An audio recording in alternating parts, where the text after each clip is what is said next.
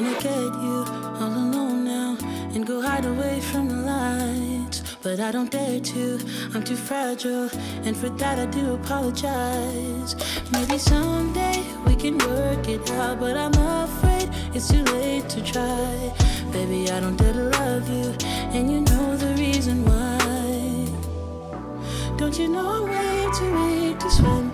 Can't you feel the waves come crashing in? Words, pictures, and music really don't do this home any justice. I guarantee when you walk through the door, you'll never want to leave. I'm Karen Cleland, and I look forward to seeing you soon.